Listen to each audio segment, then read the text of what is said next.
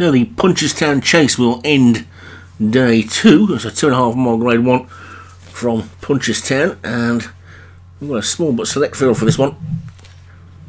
Specialist distance of two and a half miles, and Gold Coast is at the top for Kevin Meehan, Mercer and Nubis for Graham Clutterbuck, Monkey Bay, Darren Thompson, Sapphire and Steel, Martin Leadham, Swain Forkbeard, Leon Van Rensburg, and the long pause, Joshua Sutherland. So, wide open contest this one, and just six of them.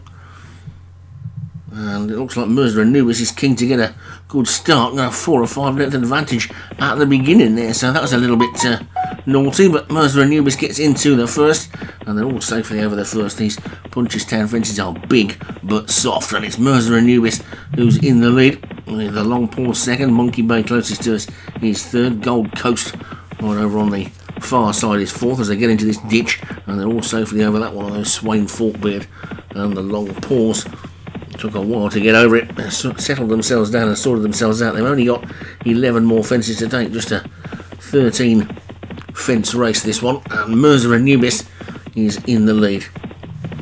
Probably well, not quite as much as he started off in the lead at the moment. Monkey Bay and Gold Coast are sharing second, then a gap to Sapphire and Steel, Swain Forkbeard, and finally the long pause.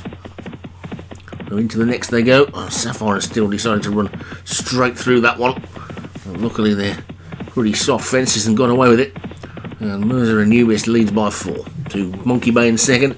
Gold Coast on the inside is third as they come up past the stand and past the big screen. And then past the winning post. The big screen got a video of the race on this time rather than reminding us where we are. Mercer and is five lengths clear of Gold Coast in second as they get to this next one. Cool Gold Coast right down on its nose there.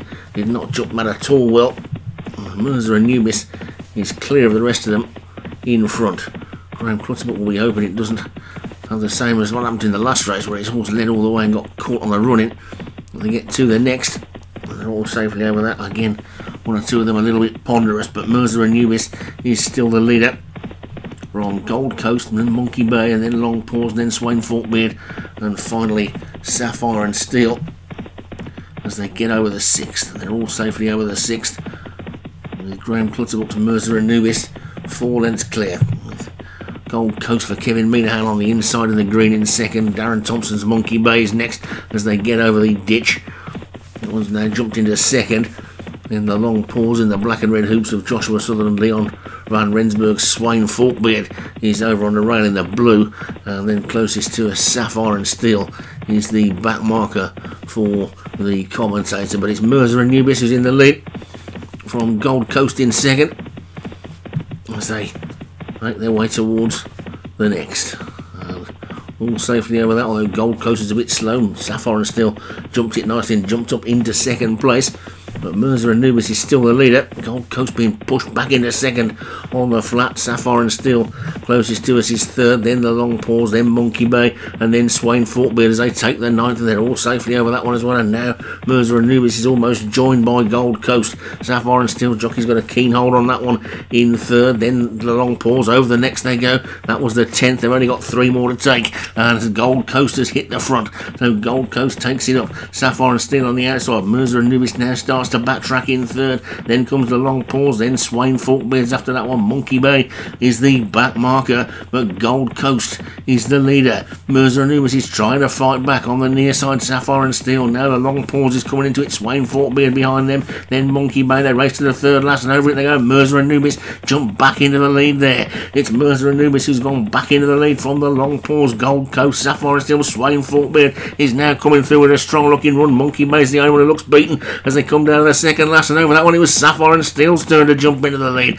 Sapphire and Steel, then Mercer and Nubis trying to fight back, then the gold, the long coast, then the Gold Coast and trying to come round the outside. Swain Forkbeard, but Mercer and Nubis is back in the lead. Sapphire and Steel is battling away though as they race down towards the final fence, and it's on the inside. Mercer and Nubis closest to us. Sapphire and Steel, Swain Forkbeard trying to run on down towards the final fence. They go and they come to it. It's all going to come down to the jump, I think. Then as they race to it now, it's Sapphire and Steel closest to it. Gets over but makes a dreadful mistake and Swain Forkbeard jumps into the lead and it's Swain Forkbeard who's now gone on. Sapphire and Steel is trying to battle back from that mistake but it's Swain Forkbeard who's in front. Sapphire and Steel's eating up the ground so too is the long pause. It's got to be close. They flash past the post. It's got to be the long pause who's going to take it. The long pause is going to win the Punchestown. Chase Sapphire and Steel second. Then Swain Forkbeard and Gold Coast. And a race that totally changed complexion at the last. And I don't think the commentator would be being biased if he said that if Sapphire and Steel had jumped the last, she would have won that. She's been beaten by the long pause. Whose long game was better and didn't make a mistake at the last. So the top rated long pause takes it for Joshua Sutherland. Sapphire and Steel was second for Martin Lee. Swain Forkbeard for Leon Van Rensburg was third. Gold Coast for Kevin Minahan fourth. And Mirza Anuis for Graham Clutterbuck was fifth.